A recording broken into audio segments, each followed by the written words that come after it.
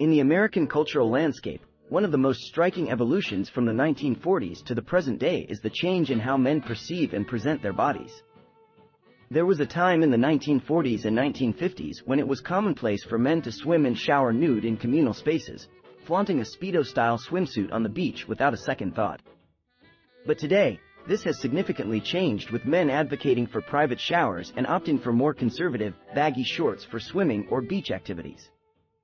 The reasons behind this metamorphosis are intricate and multifaceted, encompassing influences from technological advancements to sociocultural shifts. Advancements in technology over the past few decades have greatly transformed our world and how we interact with each other. The internet and smartphones, in particular, have created new platforms for sharing information, and sometimes oversharing. The ubiquity of recording devices and the rise of social media platforms have inadvertently played a role in making men more conscious about their bodies and privacy.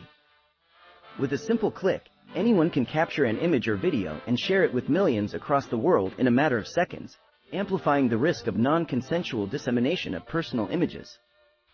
The mid-20th century was a time when all-male spaces like the YMCA thrived. These places offered men a chance to bond and build relationships away from societal pressures, allowing for open expressions of masculinity, which included casual nudity.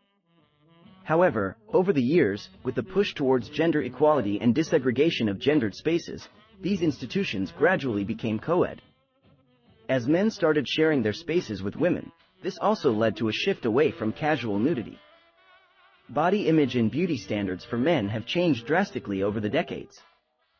The era of the everyman physique in the mid-20th century, characterized by average, attainable bodies, gave way to a culture of hypermasculinity and muscle obsession in the late 20th and early 21st centuries. Media portrayals of the ideal, male body as muscular and well-defined have added pressure on men to measure up, making them more self-conscious about their bodies, especially in public spaces. American society has seen a significant shift toward individualism over the past several decades.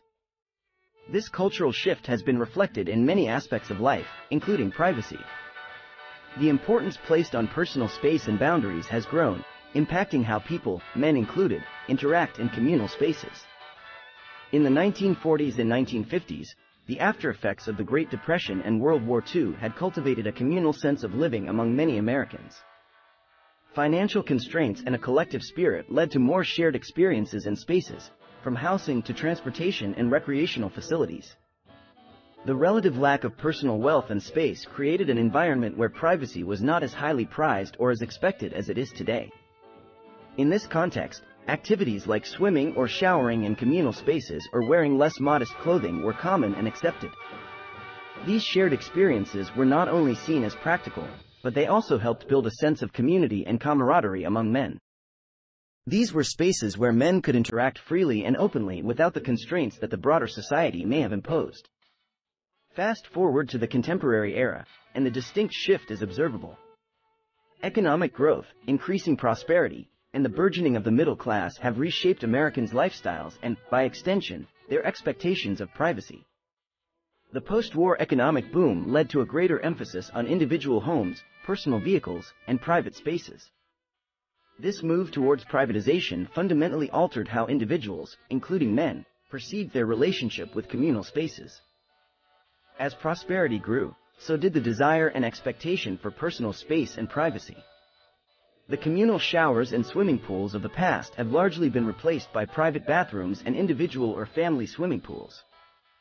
This shift in living conditions has had a profound impact on attitudes towards nudity and body image among American men. As personal spaces became more common, expectations of privacy increased, leading to a decrease in public nudity or semi-nudity. Moreover, the societal shift towards individualism and self-expression has been accompanied by an increased emphasis on personal autonomy and control, including over one's body and its exposure. This change has led to a transformation in the way American men view and exhibit their bodies.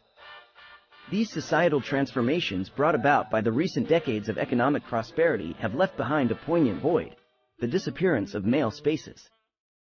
These spaces once served as vital bastions for cultivating support systems, fostering camaraderie, and nurturing networks among men. In an era where privacy has become a paramount expectation, American men have witnessed the erosion of their comfort and attitudes in regards to how they navigate public spaces. This decline echoes a larger societal shift from a communal mindset to a more individualistic approach to life and personal space. Regrettably, the loss of these male domains leaves a void that once fostered community bonds and environments that supported and empowered men.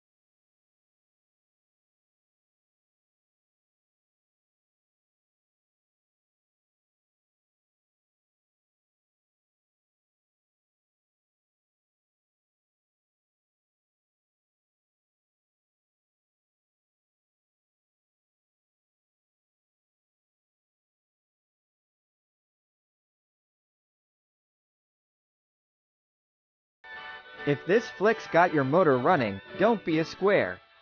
Click on that jolly bucket of bolts to subscribe to the channel for more top drawer content just like this.